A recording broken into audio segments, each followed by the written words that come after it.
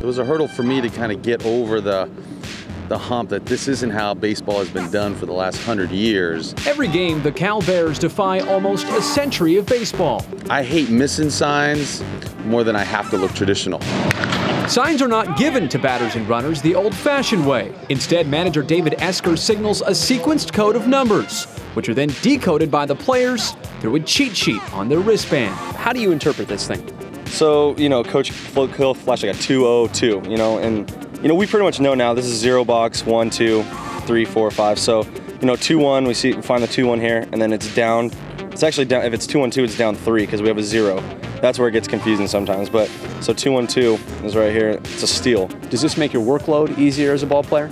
In a way, yeah. It's, uh, it's a very simple and efficient way of, of you know, using signs, and, and, and, we can use more signs. It's harder to uh, put in some plays in the old-fashioned way of giving signs than it is with this new method.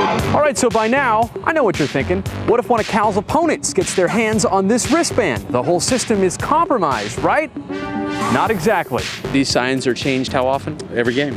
Every game, every series, you know, so we have 56 games. I use 56 different ones. We got uh, UCLA 3 right here. We got UCLA 2 right here. We go, we go all the way back probably to uh, Oregon too. You know, we can even change them. I think Esky has extras, so we can change them in game if we have to, if we think that they got a hold of one. Um, so I mean, it's virtually you. I mean, you can't you can't pick these signs. In Berkeley, Brodie Brazil, Comcast Sportsnet.